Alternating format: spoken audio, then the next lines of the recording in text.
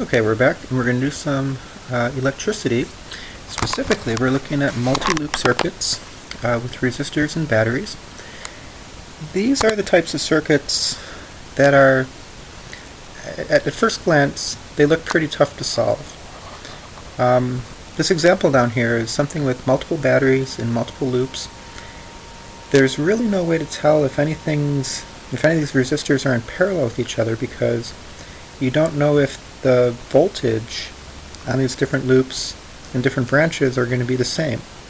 And that's really the key feature of objects or components that are in parallel with each other. so our kind of like traditional way of finding the currents in the circuit um, don't quite work. We can't find the total resistance in order to find the current. So we need something else. The, the trick to this is to make use of the fundamentals. Um, Kirchhoff's rules are fundamental rules of electronics. In particular, we're going to set up equations for each of these loops. We're going to treat each, each loop that we're looking at here as an individual circuit. And we're, we're going to use the Kirchhoff voltage rule, which effectively says that the voltage you put into a circuit, the voltage of your batteries, is all used up. So if you sum up all of the voltage losses of all the components as you go around the circuit, they have to add up to what you started with with the battery. Okay, so as we look at this thing, we're going to imagine the left loop first as being the only thing that's there. Okay, an entirely separate circuit.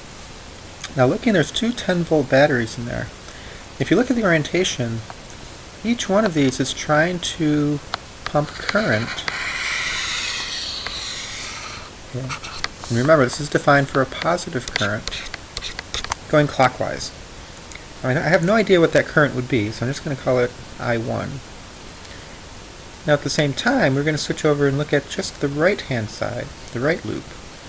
Treat that as its own circuit. If that existed, you have a 20 volt battery trying to pump current going clockwise.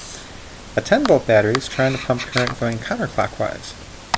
Well, you figure that the bigger battery is going to win, so it would be logical to guess that a current is going to flow around like this. And I'll call that I2. Okay, so based on this, what do we do? Well, we're going to make use of the voltage rule and go ahead and set up the equation for each loop. Okay, so for loop 1, we know that these, these two batteries are helping each other, so we're going to add them together. It's like having a 20 volt battery. That's on the left-hand side of Kirchhoff's rule. And now we go around and we see that we have a, a 4 ohm resistor with current 1 going through it. So remember that Ohm's law says you can find the voltage across a resistor uh, by taking the current and multiplying it by the resistance. Now the tricky part is, and the one we have to be careful of is that 6 ohm resistor. Now notice what's going on with the currents. We've got I1 going down through it, but the way we're guessing at this, current 2 is going up through it in opposite directions.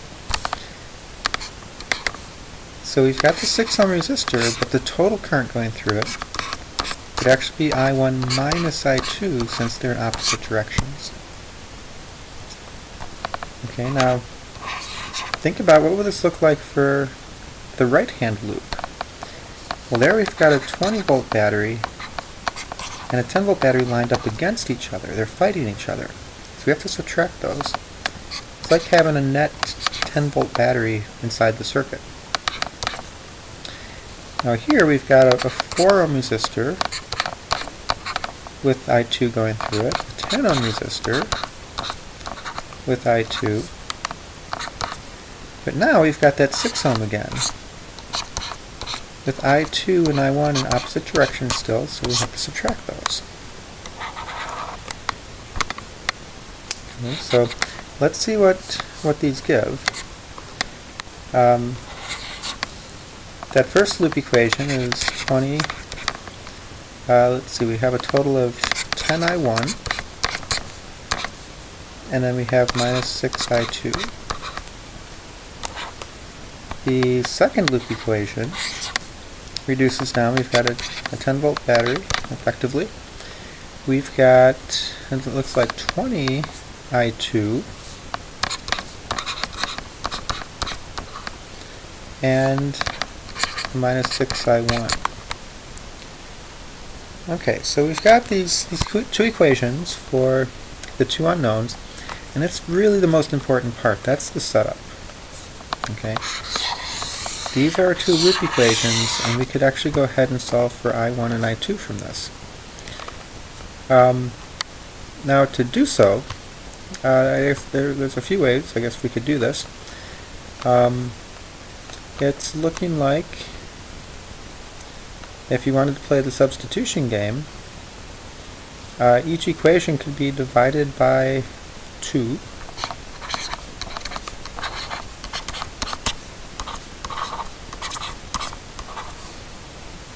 Okay, make it look something like that. And the other one's going to look like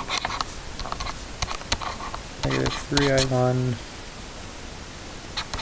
plus 10i2.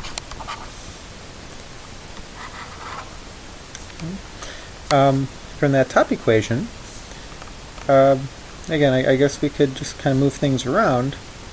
And if we were to solve for I2 in terms of I1, uh, it looks like we're going to have 5 thirds I1 minus 10 thirds. And then we can substitute that in to the second loop equation, and see what we get.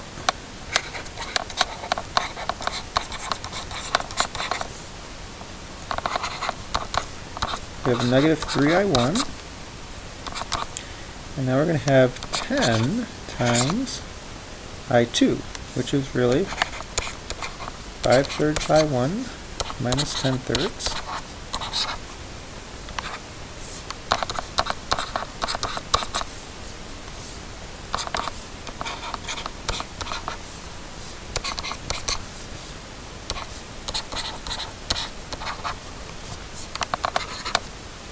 Okay, and it's just a big mess of algebra. um,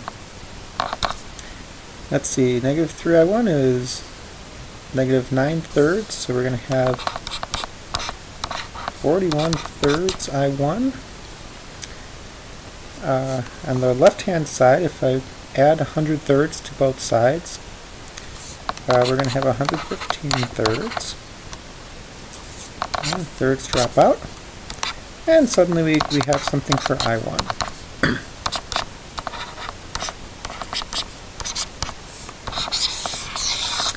okay, and would, like always, it seems like we get very strange fractions when we're dealing with circuits.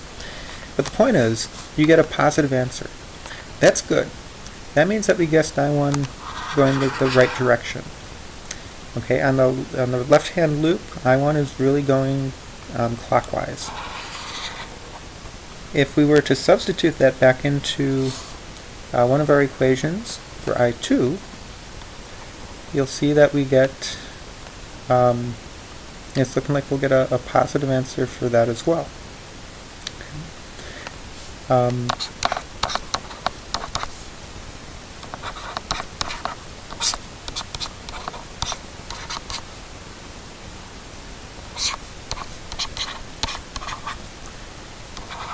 Okay, so I, I plug I1 into that equation, and uh, this is looking like it's going to be pretty messy. Um,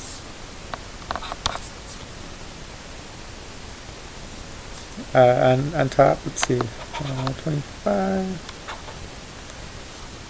7, 575, all over 3 times 41. 123. you gotta love it. And over here, we have a common denominator, multiply both the top and bottom by 41. It'll be 410 over 123. And last but not least, if we subtract those, we're going to get 165 123 thirds amps for I2. Okay. Again, very strange fractions, but that's not the point. Uh, that also turns out to be a positive number. So I2 is really going around clockwise as well. So that means in the middle we have a current which is the difference between I1 and I2. Okay, so now all of a sudden we know all the currents everywhere. It all starts back with these loop equations. This is the important part, that's the physics part of it, where we're using Kirchhoff's rule. Okay, the voltages add up to that of the battery uh, in order to make these loop equations. So uh, there, there's a lot of algebra, it's tedious, you know, that's what we're stuck with. Um, but the point is, even though we can't just find our total resistance, there's still ways to use Kirchhoff's rule. Those are more fundamental in order to figure out what these currents are. So I hope this helps, and until next time, we'll see you later.